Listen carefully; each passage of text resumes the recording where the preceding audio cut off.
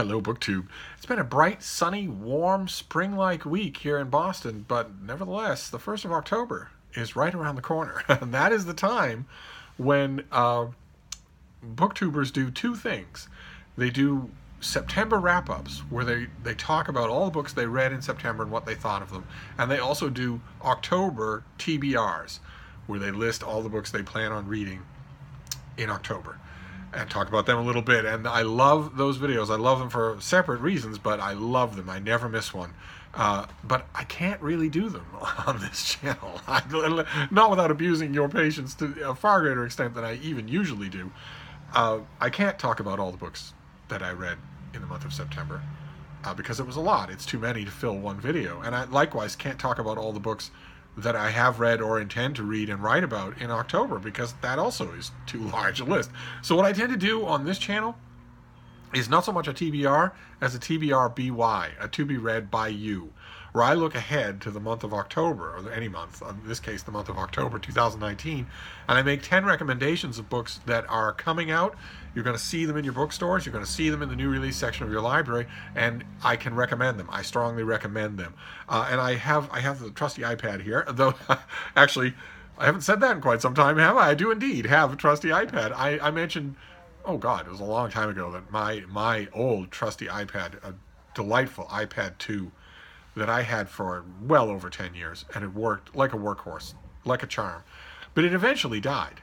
It eventually just started going wonky and I was waiting forever for simple things and it wasn't taking a charge and all the ways that an, an old piece of technology is has to tell you that it's time. It's time to let go. uh, and, and of course, this being YouTube, I immediately whined about that on this channel and said I need an iPad. If one of you has a relatively, you know, workable iPad that you don't use anymore, maybe you know you've upgraded, uh, feel free to send it to me. Uh, and bless your heart, one of you did send me. Uh, uh, with the best of possible intentions, sent me an iPad even older than the one I had that was dying, an, an original iPad. I had an iPad 2. One of you sent me an original iPad, uh, the first model, the and and uh, I understand the reasoning behind that because they're these are workhorse machines. They they really don't. They last a long time. Uh, and that one was fine for a little while, and it gave up the ghost. I think it was just ready to give up the ghost anyway. Uh, and then just recently, uh, another one of you said, you know, what about this? How about I send you an, this iPad? It appears to be a much newer device than the, than either of the ones that I had before, uh, and it's light as a feather. I believe it's an iPad Air. Uh, and so I'm back to having an iPad, and boy, oh boy, it feels like having a limb restored. I forgot how much I love this particular piece of technology for all the things that it can do. Not just that it's great for taking notes, it, it's great for composing prose, it's great for writing emails, it's great for watching videos, it's great for a whole lot of things. Uh, so I have a list here uh, on the Faithful iPad, the new Faithful iPad, and I broke it down by category of books that I want to recommend to you for October. Sort of like if we went to a, a new bookstore in October together. And we're just walking around the new release tables or the new release areas of the different subjects. I could point these things out to you. So uh, the first category is science and nature. Now I've got two books that I want to recommend. The first one is by Erik Asphaug. I'll list all these down below. Uh, I don't have any uh, pictures. I didn't want to trust things too much, to, to, trust the technology too much. I'm still getting used to this thing. Uh, but I will leave everything annotated down below. And I do have one prop. There was one book that I absolutely could not help but show you. Uh, but for Science and Nature, the first one is by Erik Asphaug, and it's called When Earth Had Two Moons. And it's a really engaging look at a whole bunch of uh, the current science on early cosmological formation, early Earth formation, what the early solar system was like. And uh, you, there are books like that every year, but this one is done really well. It's it's written in a very accessible but not at all condescending style. So I, I really recommend it. Uh, and the the other one in Science and Nature is by Stuart Russell, and it's called Human Compatible. Uh, and it's another in what in 2019 has been a small flood of books on AI, on artificial intelligence. And this one is about the familiar horror story of AI that grows out of control, AI that starts to teach itself things, starts to rewrite its own programming, and suddenly isn't uh, isn't answerable to its human creators anymore. Uh, and this author takes that science fiction threat seriously enough to write about it and what would need to happen. What needs to happen about artificial intelligence anyway, even if that scenario isn't true. There still need to be some fundamental changes to how we think about these things and also how we create them. A very, very engaging entry in the growing library of how we deal with AI uh, that uh, wasn't chatty and it wasn't alarmist. It, it struck just the right tone, I thought. Uh, and that's good because a lot of the books that are about the threat of AI or the potentials, the ominous or otherwise potentials of AI, uh, can't get over treating it as a kind of at heart silly question. And it is not. It is very much not. There is no aspect of your world that is not touched by AI. There is no aspect of this interaction, for instance. This interaction is made entirely possible by AI. But it's not just that, it's lots of other things too, from the changing of the traffic lights on a street where your children play to the dispensing of medication for your grandparents. It's it, so I'm glad the author takes the subject as seriously as it should be taken. Uh, then we'll move on to fiction. Uh, oh, there are two things that I want to mention to you when it comes to fiction. The first one is reprints, uh, but it's done really well. It's from Lyons Press, which is I, I they're not a press I'm overly familiar with, but I got a copy of this book. It's called Being Sherlock, and it's edited by Ashley Polasek, and it is an anthology of Sherlock Holmes stories. It's a, so in that sense, it's something that we've seen a million different editions of in the last hundred years. It's a selection of Sherlock Holmes stories. It's a really good selection. There aren't any there aren't any dud stories that are picked, uh, but it's lavishly illustrated with with uh, production stills from all the various film and TV incarnations of Sherlock Holmes, and uh, I like that. I like the combination of those two. Uh, so I want to recommend that. I don't know Lyons Press. I, Again, I'm not familiar with them, so I'm not sure if you'll see it in your bookstores. But if you want a really good uh, printed anthology of, of Sherlock Holmes stories, this is a really good one. The best one that's shown up this year. Uh, and then the other piece of fiction is something we saw on this channel just recently. It's a novel called What is Missing by Michael Frank, who did a memoir about his own family. Uh, but I believe What is Missing is his first novel. And it's incredibly good. I read it the night that I got it and was blown away. Uh, it's the it's on one level it's a fairly contrived seeming story about uh, a woman who is who is uh, trying to she's in Florence and she's trying to reconcile herself with the fact that she will never have children, and she meets a a uh, young super hottie, a teenage young super hottie, uh, who's an avid photographer, and they fall in love. both of them sort of pushing against it a little the whole time. They fall in love, but the boy is in town uh, because his father, who is a doctor, is at a conference, and his doctor specializes in late pregnancies. He is he is a fertility expert, uh, and when the father and Costanza, the woman, when they meet, something there's a chemistry that happens between them as well. I wouldn't call what actually happens in the book a, a standard love triangle, but it's immensely adult not in not in the dumb or the cheap sense of that word. It's an immensely mature piece of fiction. And when I was reading it, not only it's beautifully written, absolutely beautifully written, but it's also when I was reading it, I was reminded of how seldom I read fiction like this. It reminded me of fiction from the 1940s instead of the 2019, where not only is most fiction so primary color and so spoon fed to you, but also, most fiction is, we've talked already on this channel many times, of the subtle and insidious bleed through of YA into adult fiction. This, uh, What is Missing, is a very adult novel. It was the word that kept coming up in my mind over and over again when I read it. Uh, and gripping right from the beginning. I, I really can't recommend it highly enough. Uh, and that that is fiction. Then we're going to move on just briefly to uh, a category of literature and translation because I couldn't leave this out. Uh, and this is 20 years after by Alexander Dumas. This is a sequel to The Three Musketeers, and it's translated by Lawrence Ellsworth, who has been doing Dumas translations for years now for Pegasus Books, and they are great. His his translations are fantastic. It's he not only in some cases like the Last Cavalier or the Red Sphinx, he's not only translating these things, he's reconstructing them into new and definitive versions of themselves it, but it's not only that; it's that he has a flair. He has a knack for Dumas, for the the stuff that Dumas is doing on the on the page. Uh, so any Lawrence Ellsworth Dumas I'm going to recommend to you. And this one happens to be a sequel to The Three Musketeers. Most of you will be familiar, at least in outline, with the plot of The Three Musketeers, and it's covered in the book anyway. So you don't have to worry about if you, for some reason, haven't read The Three Musketeers. You don't have to worry about that when you dive into this. You're still going to enjoy the heck out of it. Uh, and then we'll move on to uh, general nonfiction, something that that is neither biography nor history strictly. And this is a, I won't say it's a polemic. It's not actually a polemic. It is instructive, and it's very personal, and it's charged. But I, it it it isn't quite a polemic. It's more like a lecture. It's by Stanley Fish, a renowned academic who is electrifying. He's controversial. He's extremely opinionated. He's, I think, a, a marvelous writer. And his new book is called The First. And it's all about the First Amendment to the United States Constitution what it is, what it isn't, what it covers, what it doesn't cover, what it can be construed to cover, how it has been recently or in the past abused. An amazing legal discussion, just amazing throughout. Uh, even if you don't end up agreeing with every one of Fish's constructions on it, and you won't, because he, he rather he rather prides himself on being you know, an opinionated author with whom you will not agree all the time. Even if you don't, though, you're going to learn a lot. First of all, about not only the First Amendment but the the Bill of Rights, and also you're going to have all, a lot of your presumptions challenged. It's just a terrific, terrific trot through uh, the First Amendment.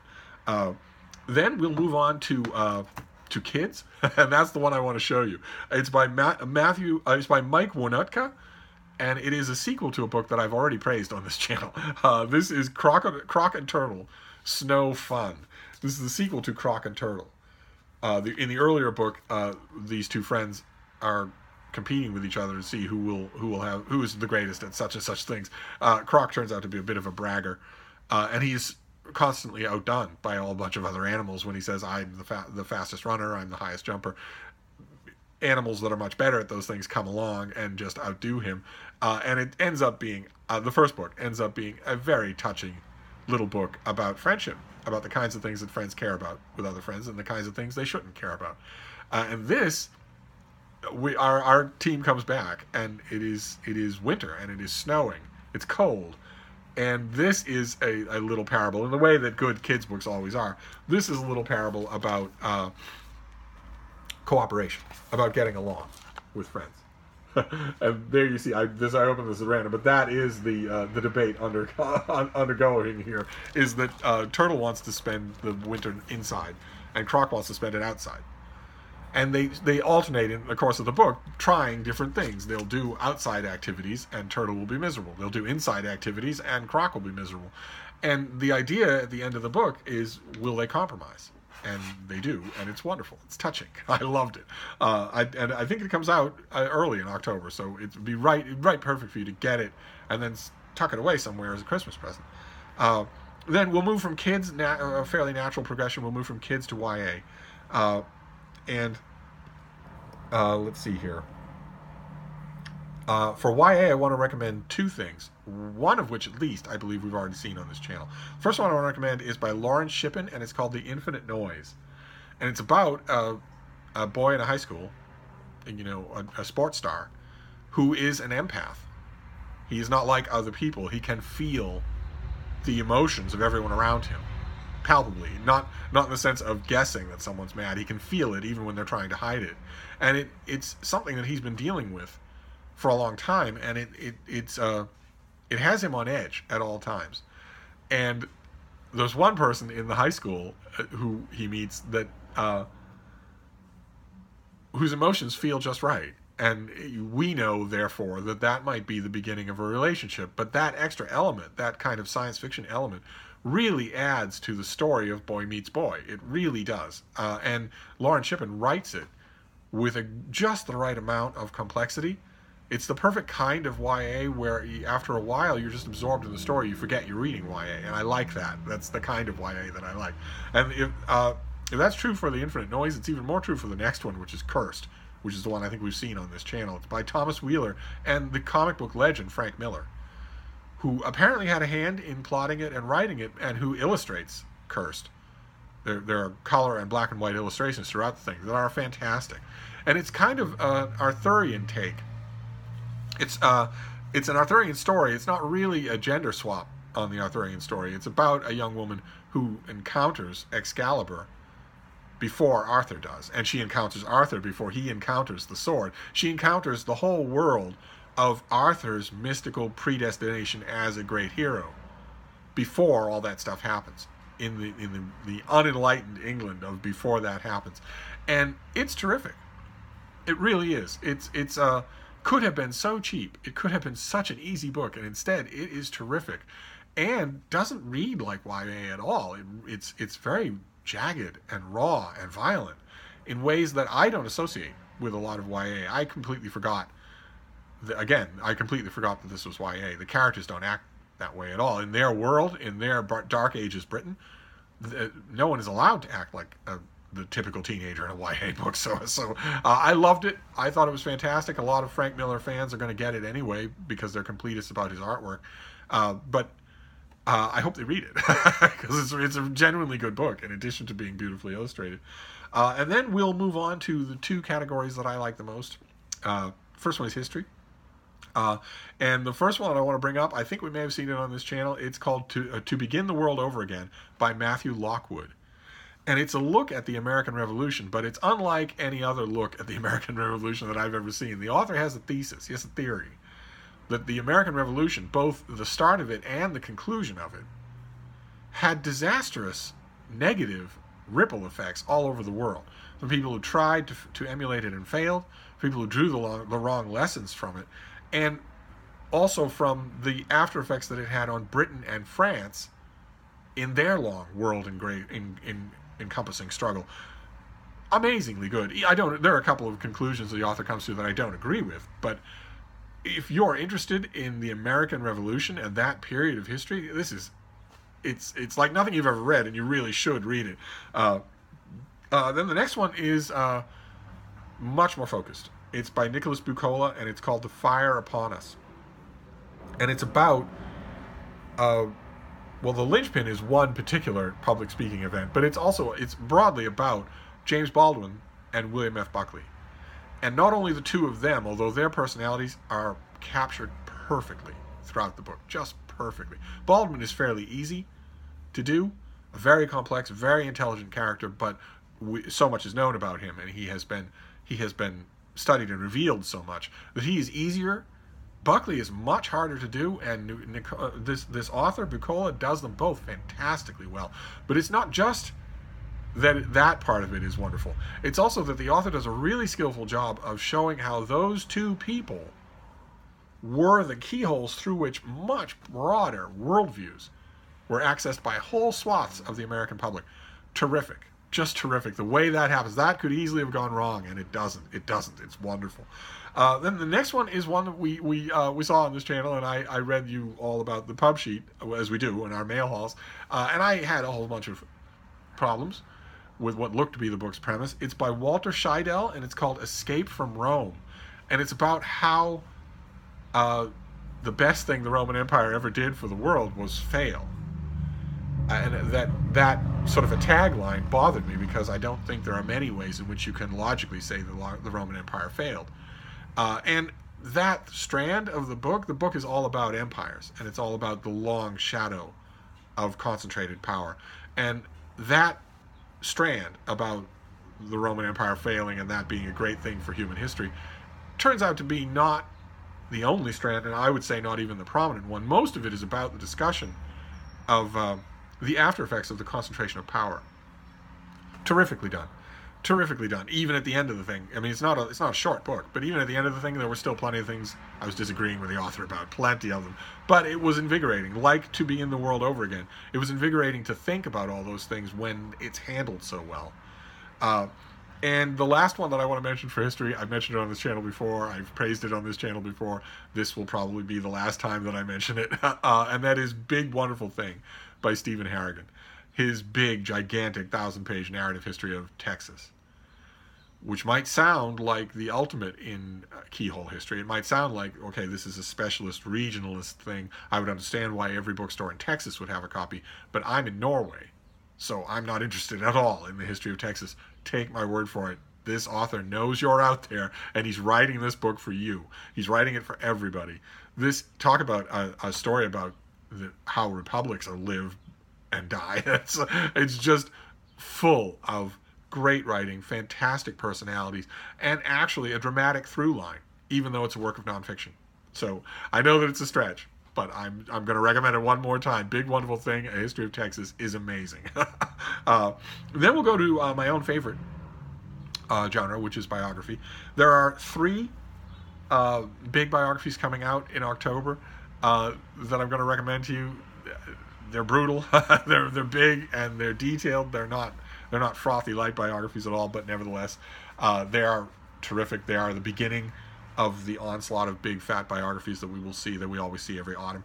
The first one is the new book by Edmund Morris, who did a trilogy about Theodore Roosevelt that was brilliant. And he also, in my opinion, did a, a brilliant book on Ronald Reagan. Dutch, I think, is a brilliant book.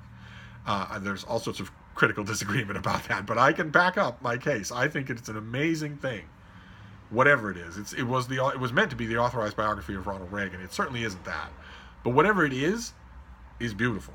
Uh, so Edmund Morris is, you know, I'm I would read anything that he wrote, and his new book is a gigantic biography of Thomas Edison, uh, and it bristles, and it's it's very much not a saint's life, uh, and it's it, it's engrossing. Those of you who've read Edmund Morris will know what it's like to read this guy. He he doesn't take any minute of his narrative for granted, so it just rolls along, and there is no there is no info dumping. Uh, so that's one of the season's big biographies that I, I strongly recommend. Another one, uh, another one that I strongly recommend uh, for October is uh, it's Peter Longerich's. It's the English language translation of Peter Longerich's enormous biography of Adolf Hitler, and it's one of two. There are two enormous biographies of Adolf Hitler this season. I realize that's a lot to ask because he's not Hitler is horrible company on the page. So it, it's very tempting to read the Wikipedia entry on him, and that's it. Let it go at that. Longerich's his book is incredible. It is. It will. It will probably stand as the final word on Hitler for a long time. Uh, in that sense, if you're a big reader of biography, you kind of have to read it. I, I, I shouldn't sound so equivocal. I thought it was just spellbinding as the reading goes. Longerich is fantastic. I've read everything he's written that's been translated into English. Uh, and this is more than Hitler's story. This is, I mean, it is Hitler's story, and not only that, but it's slightly revisionist. It, it the, this author wants you to remember that Hitler uh, was terrible at delegating, that he was suspicious of delegating, that everything about his world was created by him.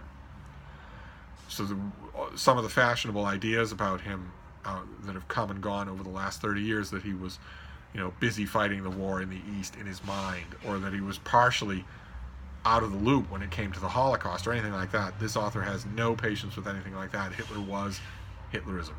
Hitlerism was Hitler. Uh, so it's not and it's not only that it's also that it's this this author is just a terrific writer. Uh, and then the other big biography, uh, if anything, I was bridling at it more than the Hitler book all around. This is by it's by Elizabeth Cohen, and it's called Saving American Cities and America's cities, and it's about Ed Logue. It's about an architect named Ed Logue, who never met a wrecking ball he didn't like.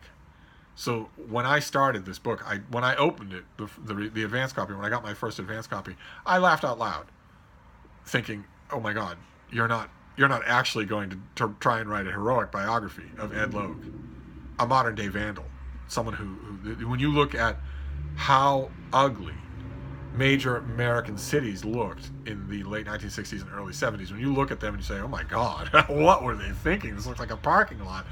That's Ed Logue. That's his dream. That was his vision. Whether it was directly by him or whether it was being copied by some other architect. Uh, so I thought I went into the book thinking, "Oh, come on. I have I have poured in concrete opinions about this guy." And uh, the opinions didn't quite change, but Cohen does an incredible job. It's just an incredible biography. I couldn't resist it after 20 pages, even though I was resisting it. it's just that good. Uh, so I, am going to recommend it. If you're interested in that in mid 20th century American history, especially if you're interested in architecture, this is the final word on both Ed Logue and his, for want of a better word, artistic legacy. This is just a necessary book. I I can't believe that I put it on a list like this, but nevertheless. Uh, and that's it, aside from one book that I want to I want to set aside as the book of the month. Uh, and it's it's unintentional on the part of Yale University Press. They hit a they hit a home run for timing, and it's unintentional on the part of the author as well. No one involved in the genesis of this book could have guessed how timely it would be. The book is by Alison Stanger, and it's called Whistleblowers. it's a history of whistleblowing in the United States. How it's always excuse me how it's always been viewed how it was codified into law, what have been some of the major cases, what's been some of the major results. Uh, and it just happens to be new, uh, you know, coming out into bookstores. I, I, think its date is in the first week of October. I think it, it, it, just happens to be coming out into bookstores after the American political world has been thrown in complete upheaval by a whistleblower account.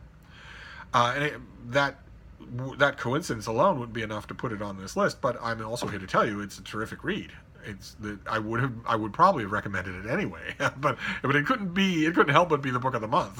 so so there you go. That is a TBR BY for October 2019. Just a few books that I wanted to recommend to you and bring to your attention. I will list them all down below. Sorry for the length of the video, but these these TBR BYs always go long.